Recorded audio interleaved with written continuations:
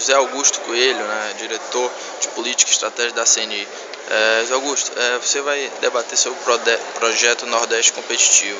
Como é que o Nordeste é, se torna competitivo aqui nesse cenário nacional?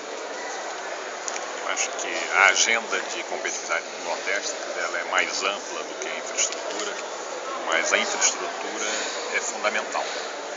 Será através de portos que as mercadorias do Nordeste poderão é, acessar dizer, os mercados dizer, internacionais e, da mesma forma, as empresas e consumidores do Nordeste receberão produtos a menor custo.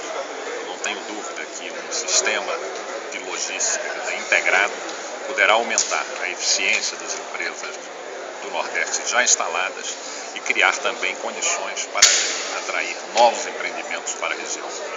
E como o senhor avalia essa logística, né, tanto aqui no Nordeste como no Ceará, é, da siderúrgica, dos portos? Né? A logística ela tem tido avanços, mas são avanços ainda insuficientes. Há muitos vazios que precisam ser é, conectados. Ou seja, eu preciso ter o porto, mas eu preciso ter a ferrovia de acesso ao porto, a rodovia de acesso ao porto e assim por diante.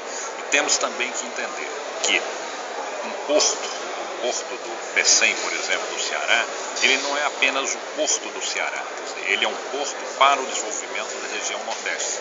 Ou seja, o produto que está em Barreiras, na Bahia, ele vai ser escoado pelo porto do Ceará. Então nós temos que adotar quer dizer, uma política regional abrangente para maximizarmos os investimentos na região. Ok, muito obrigado, José Augusto.